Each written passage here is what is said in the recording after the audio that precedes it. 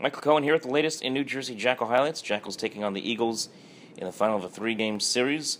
Art Charles at the dish, bottom first inning, with Michael O'Neill second. Bloops this one in the center field for a base hit. O'Neill would come around and score, and the Jackals get their first run of the day. It is now a 2-1 ball game. Moving right along now into the second inning with two men aboard. Richard Stock at the plate, his first game in almost a month, and he says it's good to be back, folks, as the catcher hits a three-run home run to right field gives the Jackals a 4 2 lead. What a way to come back for Richard Stock. Three run home run in his first at bat since coming off the DL. A little later on, Devontre Richardson slaps this one to third. Nice play by Mershon, but he throws it away down the first base line. As a result, a run comes in to score. It's now 5 to 2 New Jersey. A lot of errors in this game for the Eagles in this one. Now Johnny Bladell hits a little tapper to first base underneath the glove of Mateo. That's a base hit. Two runs will come in and score. Eagles still having trouble trying to field the baseball in the infield. It's now 7 to 2 favor of the New Jersey Jackals.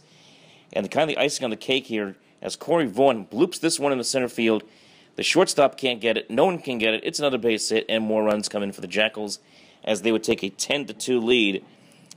and then into the 10 to 2 lead at this point, they get one more run. Why not Richard Stock to add to it?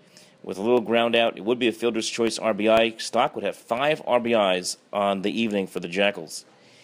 Jackals close it out. Justin Brantley gets a little high, little chopper back to him for the final out. Jackals win 10-5. They are now at 35 and 23, right back in the thick of things for first place in the Can-Am League. Michael Cohen, talk to you next time.